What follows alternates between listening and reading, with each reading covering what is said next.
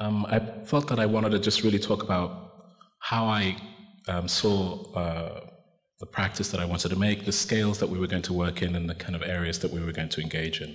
And essentially, for me, um, making Adjaye Associates was about trying to um, create a series of platforms that would allow me to um, uh, specifically look at um, topologies, the way in which topologies are shifting and hybridizing in the world, new scales of buildings, new dimensions of buildings um, that are about the products of um, the modern world, the late 20th century, and the ability that we have with technology.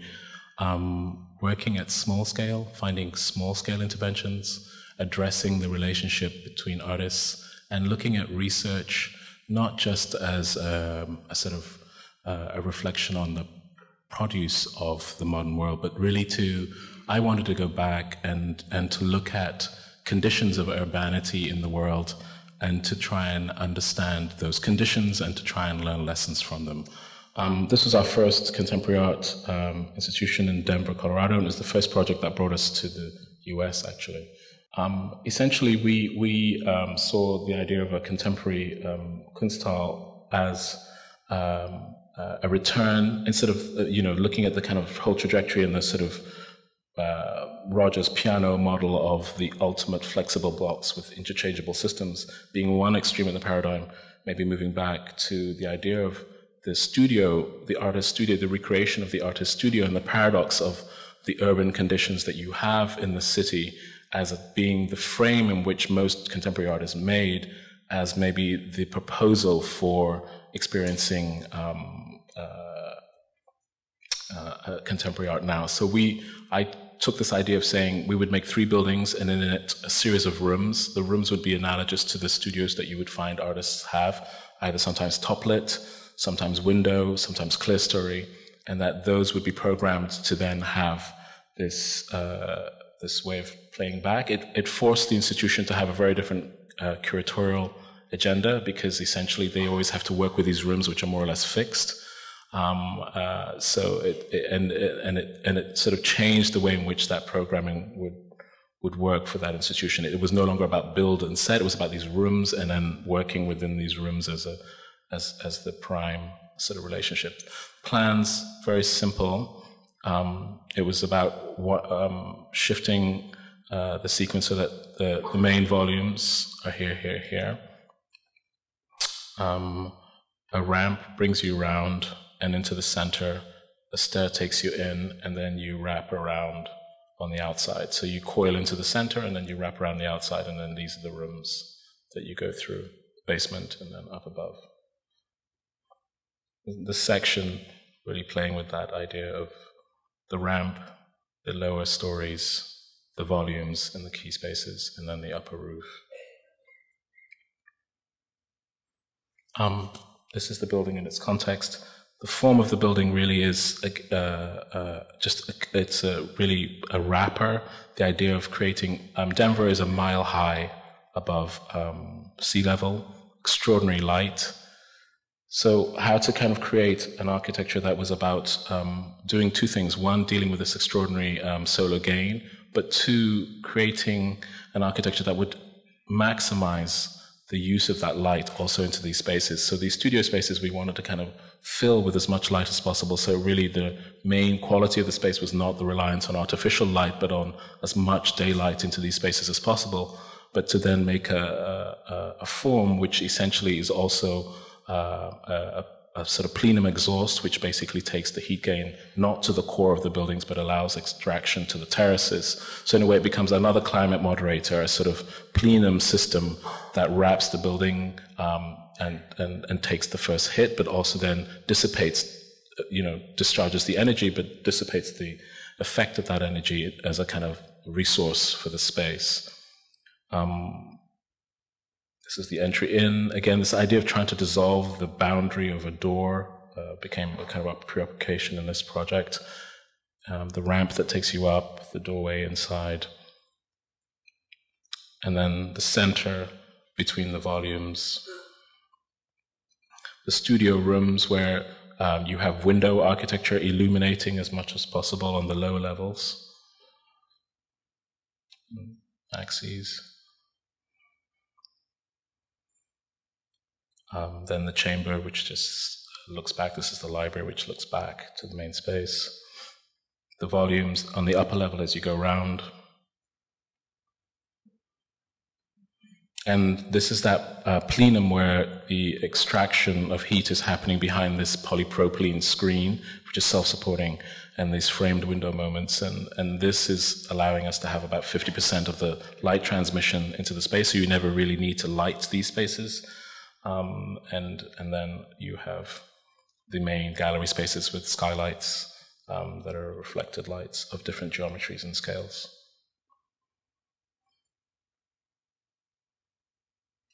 So, really, a kind of contemporary art space that's about this idea of this incredible elevation and harvesting it, and this uh, everyday way of looking at art with these uh, ways in which clerestories, windows, etc., create conditions. Then it has a garden on the roof with a cafe.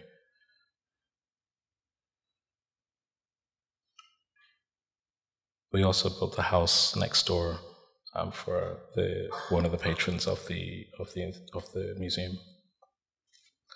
Um, I will now talk about the the housing, and housing was really very much a very important part of the beginnings of the practice, and it wasn't traditional housing. It wasn't about um, uh, housing in the traditional sense, but it was really trying to work with projects that were responding to specific conditions or projects where new hybrid situations were occurring were very interesting to me. So I really reached out to those kinds of uh, uh, those kinds of projects. A very dear project to me is um, the response to Katrina um, in New Orleans um, um when the, of course, the tragic flood happened, and the images that we all know very well. And the Ninth Ward was really this place that was very much decimated, and uh, this foundation that Brad Pitt sort of uh, set up, uh, organized to create um, um, uh, create a response, an architecture. It became a kind of a zoo in a way of, of responses, but there was something very earnest about this idea of trying to make an architecture in this space, which was really trying to deal with this culture, geography, uh, climate uh, discourse that was starting to happening in my mind. And in a way, these are one of the, this was one of the first tests of that sort of consciousness. Um, these are obviously the images we all know. But when we started to work with this, I started to very much think about these images, and, um, and you know what we're looking at are slave cabins, um, urban slave cabins, and, and, and, sort of commercial architecture in the in in parts of New Orleans.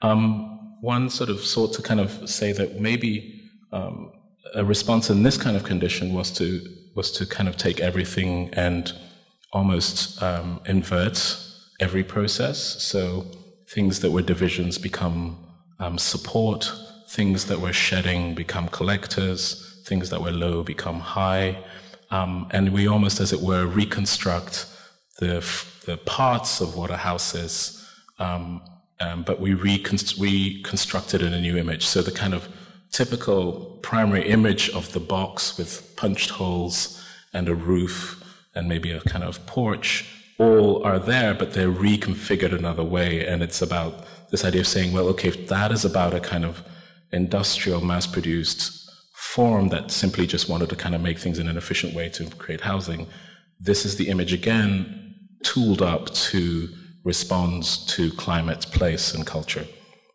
So we actually took the geometry and proportion of um, those slave cabins and and inverted those um, to become storage and structure, etc. Things like um, the initial studies were about, you know, taking the roof and reversing it to collect rather than, you know, all the things that we do now that we take for granted. Um, issues of cross ventilation, etc.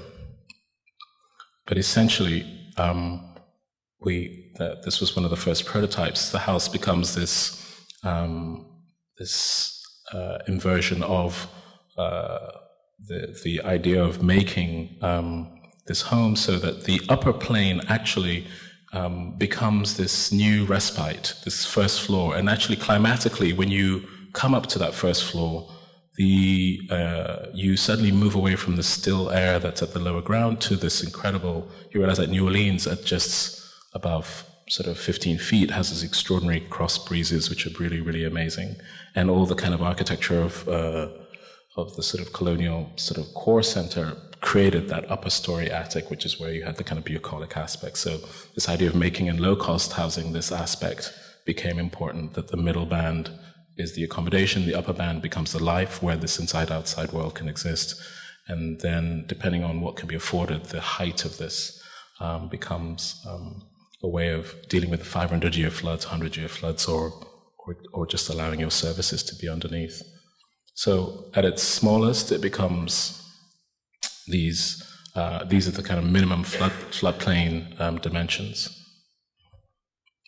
And then this upper story really becomes a respite if there's a flood, but also becomes this flexible space. We we got images where people are getting married up here, and, and it's extraordinary seeing these pictures with people using this new um, space that's given um, in, a, in, a, in an extraordinary way. Um, we, we allowed the builders to efficiently just keep um, refining the form. So we start sort of here, and now we are somewhere here. And, and we sort of beg to say that this really probably is the right response in this climate.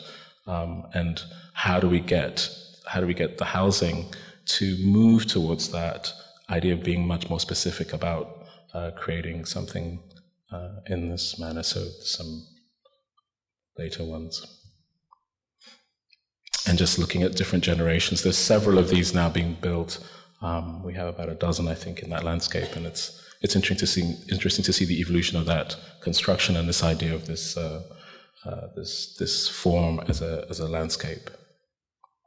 One of the original ones uh, that um, uh, Greg talked about as the dirty house, um, which was an important test, and in a way that was also a test about how to kind of uh, create some condition out of this. Uh, part of the East End. This is the East End now. Some of these images are down, some before. Um, and it was really how to make uh, criticality in, an, in a context of warehouses where um, there was a lot of, um, there was a, this is uh, the part of the East End where a lot of manufacturing was and is.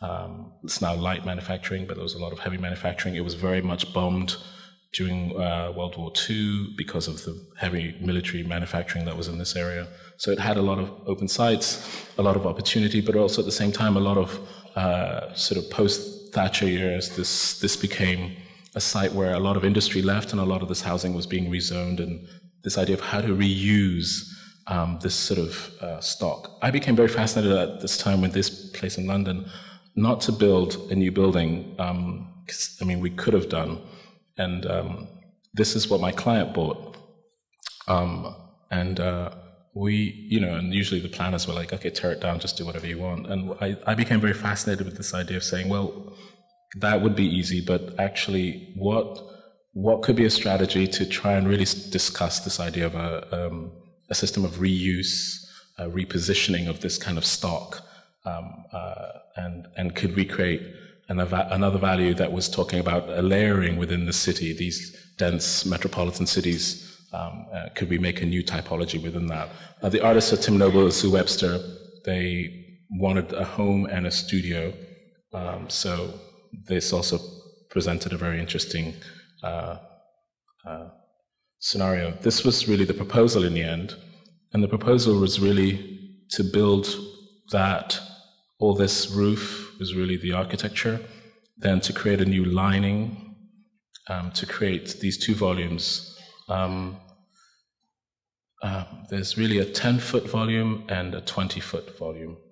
And really, this idea of how to efficiently create um, a series of chambers that were proportional and scaled to create work and home, and to kind of play with this idea of volume and aperture and horizon became the way in which one would re um, sort of recapture this old stock and create this new sort of uh, reuse from the sort of urban produce of the city and how planning works and how you did things. Um, this is what the building became. Um, and really, it was about uh, this recoding of the language of architecture from, uh, you know, using planar mirrored glass on the bottom, flush, creating sort of a discourse about this kind of um, the way in which you can play with this uh, materiality. So this is a flush mirror system. Then this is fixed on the interior, but because of the new steel structural lining, it has this sense of you know lightness and weight. This is half a meter deep, and then the roof is held on a, a glass wall, compression glass wall with little rods in it. So there's no columns in it. The plane of this uh, structure is really held on this new glass uh, structure. Um, and this is the new construction up here with this new form, and this form just follows the distortion of the volume. Again, uh, internally, sectionally, um, the building is, um, there are these layers, the layer of the kind of existing reuse, and then the, the new structure that internally organizes the spaces. This becomes the important threshold, which creates the relationships to the spaces for art, and then upstairs to the uh, the residents. So you get um, the sort of the, the, niche, which is flush on the outside, becomes a sort of aedicular from the inside and then flush on the inside.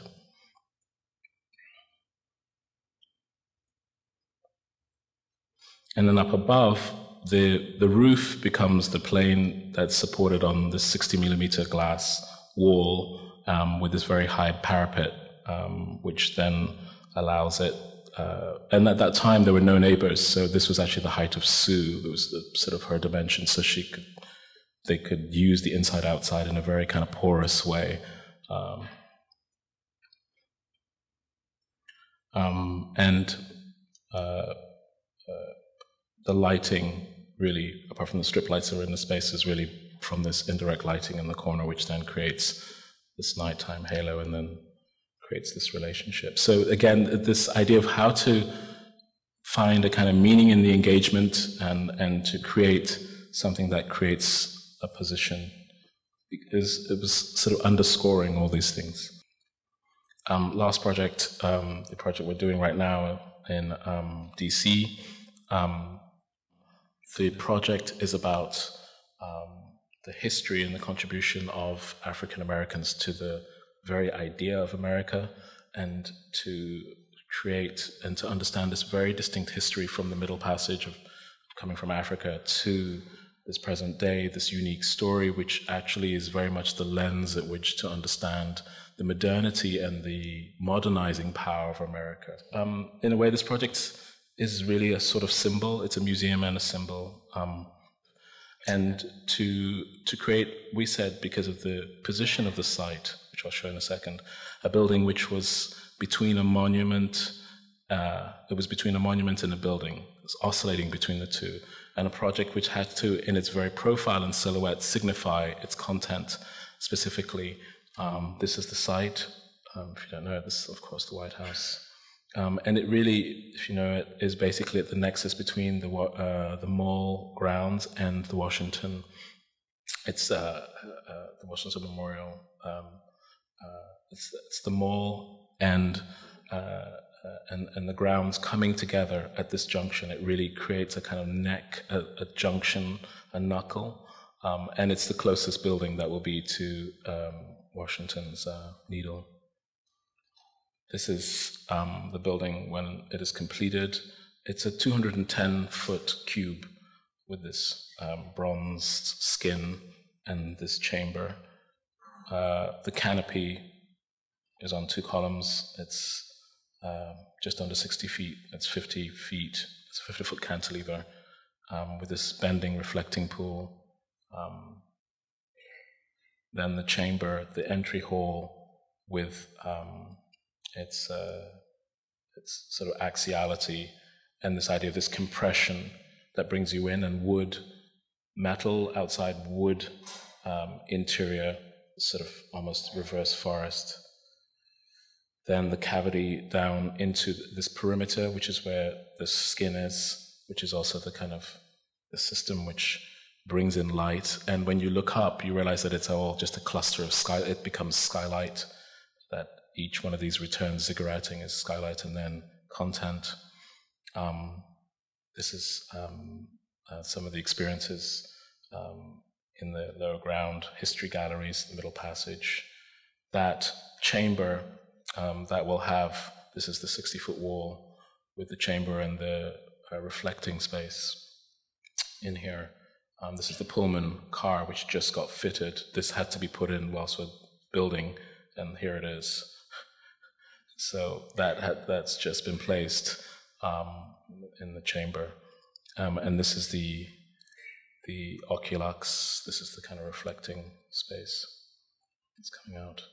This is uh, one of the early renderings of that chamber, which is a reverse uh, waterfall, and it really is working. It's it's a quote from Martin Luther King. This idea of rainfall as justice. Um, this idea of the power of water as a cleansing, justifying uh, element. Gallery spaces, exhibition spaces, the building from Constitution, and the construction now. Thank you very much for your patience.